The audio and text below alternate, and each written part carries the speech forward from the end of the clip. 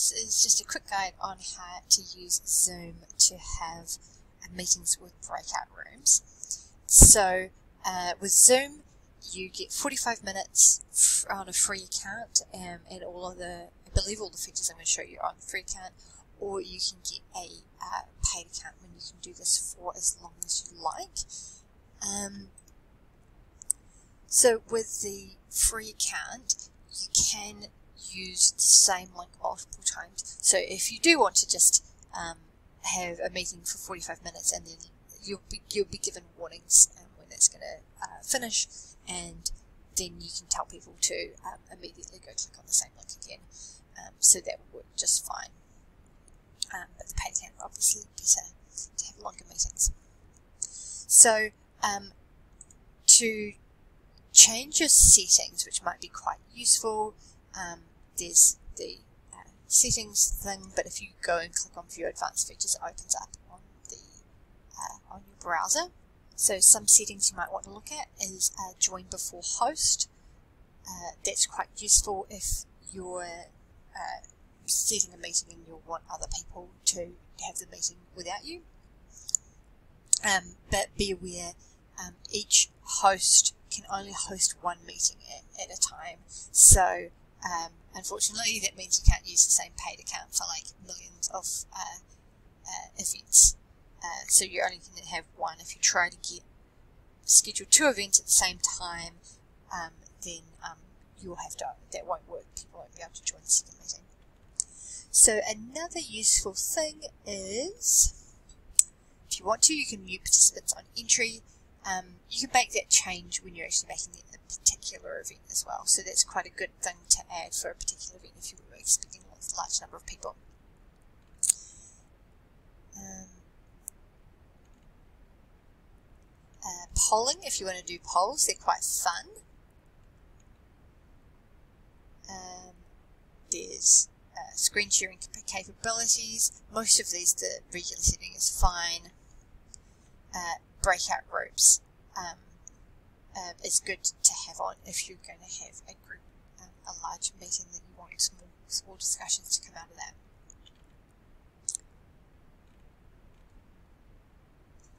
Another thing that could be quite good for you to have is to choose the join from your browser link.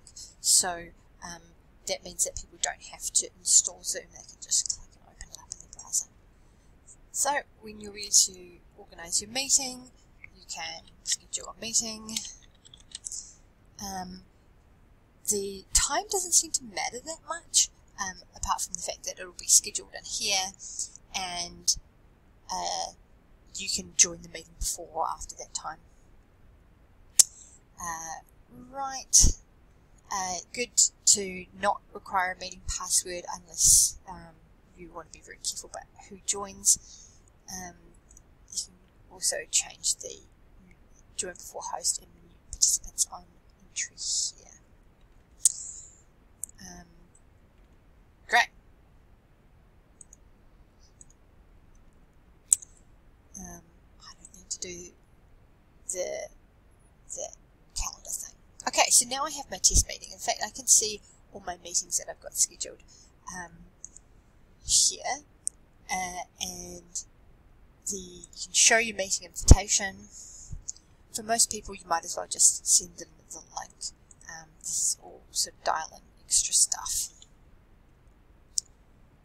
And when you start your meeting, join with the computer audio, then you can see what your options are.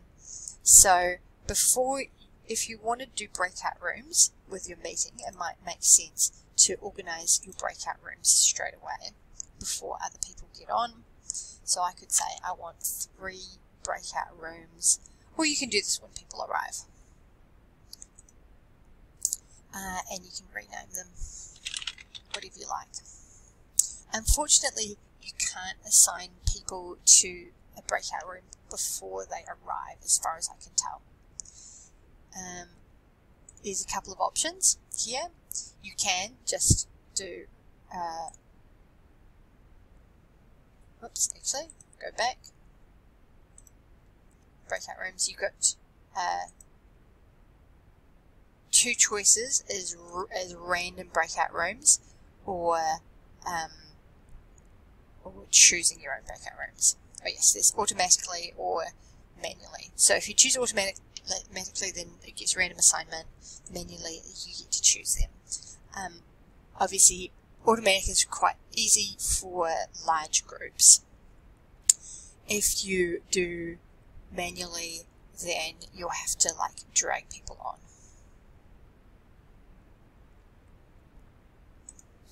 Okay, so I'm just going to randomly make a couple more groups. Um, and I can change my options. So if you want to, I could have sort of five minute discussion or whatever you like, and then you can make a little timer. Um, so if you close the breakout room, then people have that amount of time before they get kicked off. Okay, so now um, I'm going to add some polls. Um, for some reason I can't work out how to record the other screen, so I apologise that I'm not looking at you. Um, you can use uh, polls to make your uh, interactive stuff. So, um, for example, um, we're trying to organise a giving game, and so a couple of polls that we could have would be like, what charity would you pick? Um, and you can make a bunch of questions for each poll.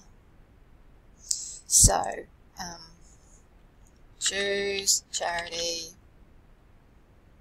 Um, so you can make them anonymous or not. Um, this is quite nice. Um, what charity? And then you can write your options. AMF, GiveDirectly, whatever you like.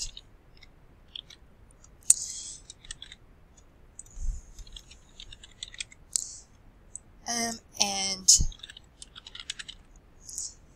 so,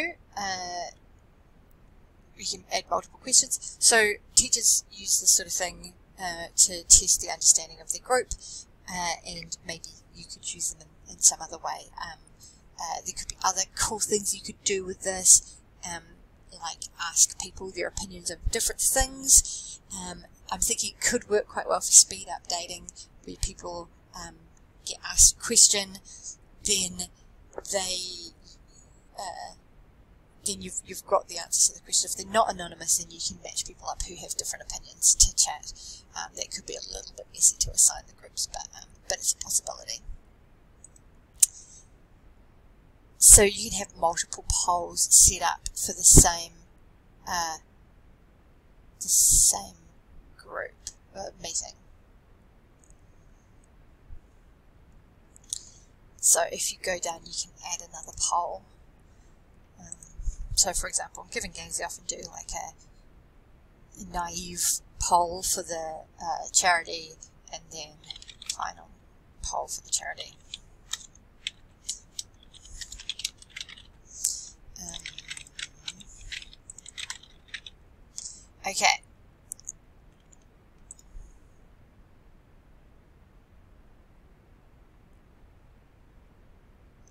Right, so um, now that we've got that set up,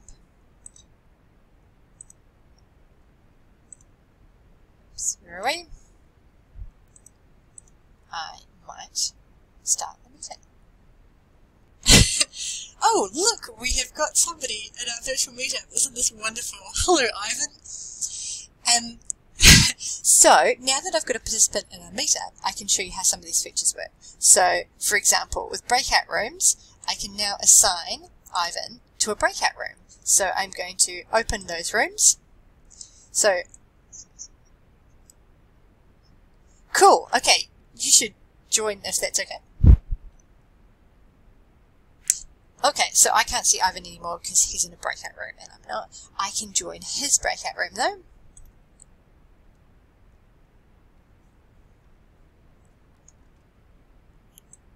takes a little time to do that. Oh, look, I'm in your breakout room. Isn't this great? So,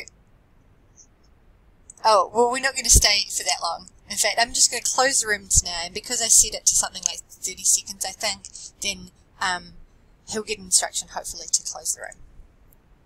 Oh no, 120 seconds. um, you can just close that now if you want, Ivan. And I can return to my main session.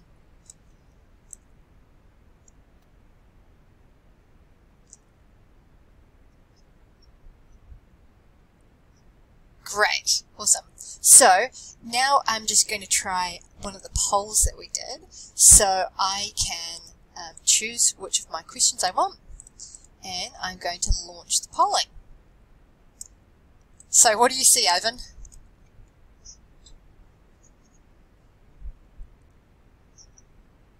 Okay, so you just choose the choose your whatever you want, whichever charity you feel like today. Cool, well, now I can see one out of one's voted, so I in my polling, and then I can share the results and go, oh no, everybody chose PlayPumps, we've done a terrible job at that giving game. Okay. yep.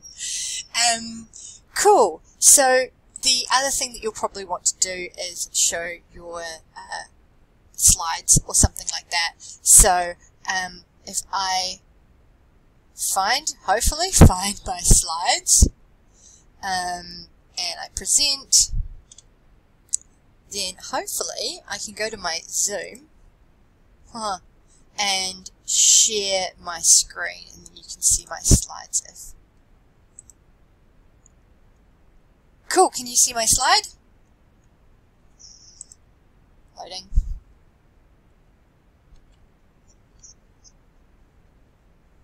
Cool. So basically, if you're, you can show slides, um, you can do the polls, and then you can do the breakout rooms. So depending on what you want to do, you might have, for example, in a group, you could have people chatting about, like somebody doing a presentation.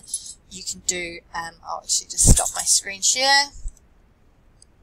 You do a presentation, you could pose questions through the poll, you can send people to breakout rooms. There is actually kind of little activities that you can do to manage the participants as well, or to manage the participants. Um, for example, I can just say, oh, Ivan's talking too much and mute him.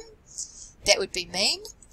um, uh, another thing that you could do is, or Ivan can, um, you should be able to see participants down the bottom there, Ivan. And you should be able to raise your hand potentially. Oh yeah, so he's moused over himself, he's raised his hand, and that way I can say, oh, Ivan, you've got a question? Um, and then I should probably unmute him as well. Um, or maybe he's muted himself, so I can't unmute him. Um, and then after he's answered his question, you can, you can lower his hands. Cool. You still there, Ivan? Oh dear, we may have a technical glitch. Um, anyway, that's the general idea of uh, the Zoom. He's frozen, but the other final thing was that you can chat, so you can chat to everybody, um, or you can chat just individual people. Um, you can also do that in the breakout rooms. So if I open the rooms, then I can still broadcast a message to all. For example, you could say like, there's one minute to go, or oops, I forgot to ask you the question, or whatever it is that you want. Um, you can do multiple going into breakout rooms and you can change the people.